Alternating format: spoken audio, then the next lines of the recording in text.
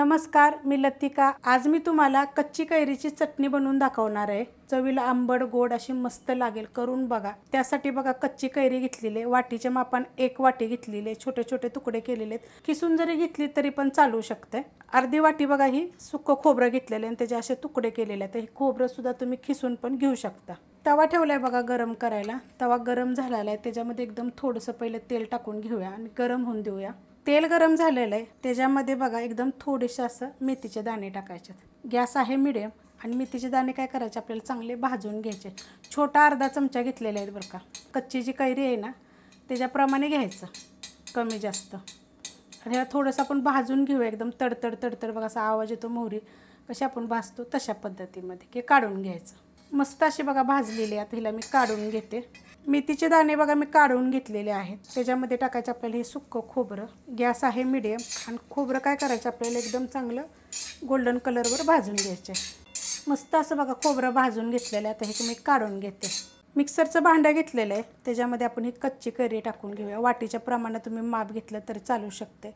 त्यात टाकायचं तर हे खोबरं. आपण भाजून घेतलेलं आणि हे थंड होऊन दिलेलं. आता हे तुकडे केले तुम्ही खिसून जरी घेतलं तरी पण चालेल. आणि बिन तेलाचं जरी भाजलं तरी चालेल बरं का. त्यात टाकायचे मेथीदाणे मेथीदाणे बघा किती आहे ते. एवढे घेतलेले आहेत बघा. पण भाजून घ्यायचे चांगले. त्यात टाकायचे आपल्याला गूळ. हा बिन केमिकल गूळ आहे बघा. हातानं जरी जरा तोडला ना तरी तुटतो एकदम. पावडर जरी असेल मी गुळाची तर ती जरी टाकली तरी चालेल. त्यात टाकायचे आपल्याला चवीप्रमाणे मीठ आणि त्यात टाकायचे आपल्याला मिरची पावडर तिखटवाली एक चमचा घेतलेली आणि अर्धा चमचा कलरवाली घेतलेली म्हणजे काश्मीरी घेतलेली आहे. कलरसाठी आहे ती. आता हे काय करायचं? आपल्याला मिक्सरला बारीक करून घ्यायचे. मिक्सरला बघा मी बारीक करून घेतलेली आहे. मस्त एकदम बारीक करायचे. जेवढे होता होईल एवढे बंचालो बंचालो करून बारीक करायचे. बघा एकदम पेस्ट झालेली आहे. आणि चवीला एक ते छान लागते ना. आता तुम्हाला मी सांगते तुम्हाला पाहिजे तर तुम्ही ह्याच्यामध्ये लसणाच्या पाकळ्या पण टाकू शकता. दहा ते बारा टाकायच्या. कारण मी काय करणार आहे? फोडणीमध्ये टाकणार आहे. फोडणीमध्ये मला चांगलं आवडतं. तुम्हाला पाहिजे तुम्ही ह्याच्यामध्ये पण टाकू शकता. तर हे आपण वाटीत काढून घेऊया. वाटीमध्ये बघा मी चटणी काढून घेतलेली आहे. आणि जी कच्ची कैरी होती ना बघा अशा पद्धतीची होती.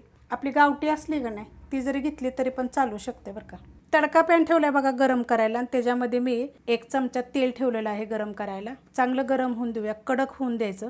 तेल चांगलं गरम झालेलं आहे. छोटा एक चमचा मोहरी आणि छोटा एक चमचा जिरं. गॅस करायचा बंद. ह्याच्यात मी आठ ते नऊ पाकळ्या बघा छोट्या आकाराच्या आहेत एकदम दिशी लसूण. तो मी कुटून घेतलेला आहे. त्यात टाकायचे आपल्याला हिंग पावडर. आणि मस्त अशात आपण ह्याची फोडणी देऊन घेऊया. वतून घ्यायचं बघा असं. मस्त बघा झालेली आहे चटणी. आणि ही कशी माहिती आहे का? आंबट गोड तिखट अशी होते मिक्स करून घेऊया. आणि ही तुम्ही प्रवासाला नेऊ शकता घरी पण खाऊ शकता घरात चपातीभर ह्याच्याभर. आमची तर मुलं काय करतात माहिती आहे का? ब्रेडला लावून खातात. छान वाटतं त्यांना हे अशा पद्धतीचे. आपला तर एक चॅनल पूर्ण बघा चटण्या ठेचा कोशिंबीर अशा सगळ्या पद्धती मी दाखवत असते. तुम्हाला ही आंबट गोड तिखट ही कच्ची कैरीची चटणी कशी वाटली जरा कमेंट करून सांगा. रेसिपी आवडली तर लाईक करा सबस्क्राईब करा कमेंट करा आणि शेअर बी करा.